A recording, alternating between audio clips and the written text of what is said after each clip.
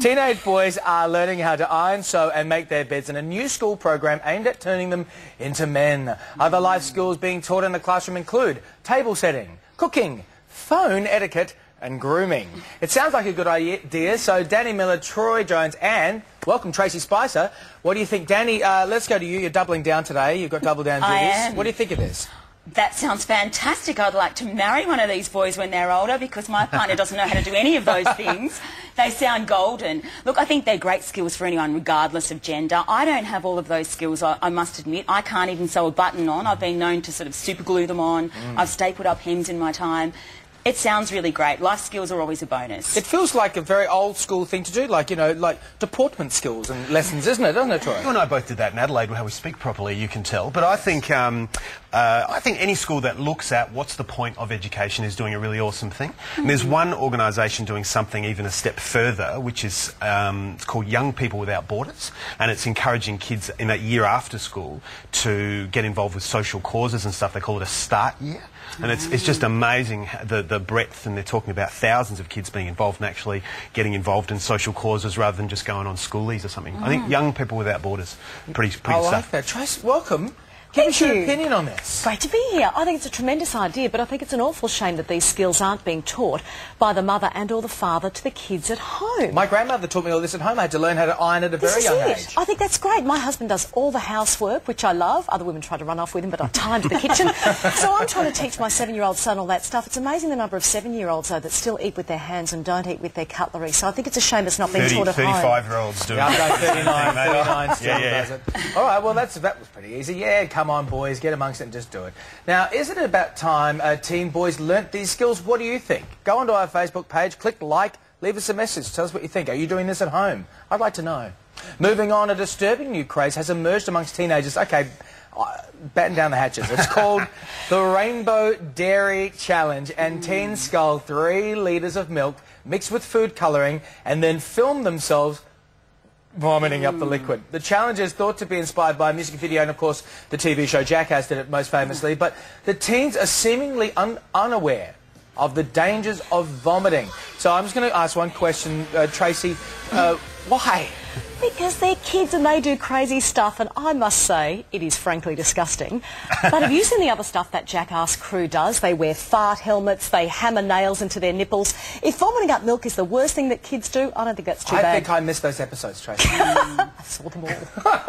I, I, just heard Tracey say nipples and fart hat, so I'm, I'm happy. I think it's a first at 9.30 in the morning. on board, I say. Sorry. We, we, but I, I think, I read the article, and I think it's really, to be honest, an overprotective mum. She sort of I think she had this, her son come to her and say this thing. I found, I'm, i saw my mate doing this, this thing. And she kind of knocked it back and don't do that. Well, I could imagine the kids sort of going, well, I'm not telling mum any of this stuff anymore. I think it's, it's gross, but I think it's funny. and they could be doing worse It is stuff. funny, but it is a problem when you, you, you know, mm. you're hmm. getting kids to vomit on cue. You know, that, it's a slippery slope to bulimia and, and issues, isn't okay. it, Okay. Let me try and help explain it. Teen boys are incredibly impulsive, they are risk takers, and they do do very spontaneous things but like this. They've also got body images coming up as well. They have. I do think there is a risk in encouraging vomiting as entertainment. It's not a great thing to do, and there are health implications if you're making yourself vomit all the time. So it's not ideal. Are we going to be able to eliminate it? Probably not. Boys have been silly for a long time. All right, well, there you go.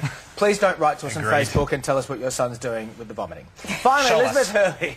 Elizabeth Hurley's style has rubbed off on Shane Warne's 13-year-old daughter, Brooke. They were seen wearing matching Hermes bags, and Liz even tweeted about their shopping day, calling Brooke, which I think is quite kind of sweet, hmm. her future teenage daughter. So she's influenced Shane's style. Are we surprised she's done this? But by the way, I just heard from Paula Joy that this bag, we thought it was $4,000 upwards of $20,000. Mm. So that's a little different. What do you think about that?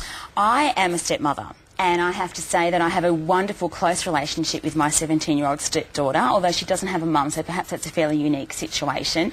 I think it's wonderful that um, Liz is going out of her way to connect with her future you know, stepdaughter and doing things that she obviously enjoys, like shopping. Do they need the $20,000 handbag? Probably not. Did they pay for it? I'm guessing they didn't pay for it either. Well, this is just a starting price, Troy. I mean, wouldn't it be nice if, if when you went out with your, your mum or your stepmum or whatever as a kid, they said, here's a $50,000 handbag? It doesn't happen very often, but I think Certainly I spoke, not to us. no, I don't think ever once, mate. But I, I think um, if I speak for all blokes out there and say a $4,000 handbag, Like there's such a thing as that, or even a twenty thousand dollar one. What are they making this stuff out of? I, I can't believe it. But I do think it's really nice. I do feel a little bit for uh, Simone though, perhaps at home, like Yeah. just sort of how can we compete and is it a competition? And and I can see that as a fairly complicated issue. You know what? It doesn't need to be. I mean, I know that my children have, uh, uh, my own children have a, a new stepmom as well now, and she's just lovely. And I want lots of people to love my children and to be part of their world.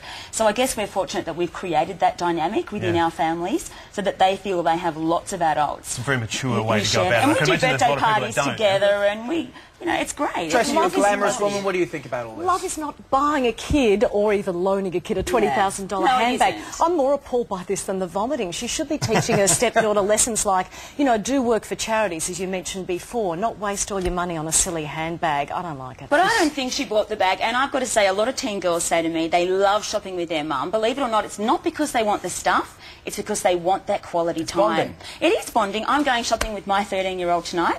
We probably won't buy anything. We'll have milkshakes. We'll have coffee. We'll have a giggle. We'll look at things.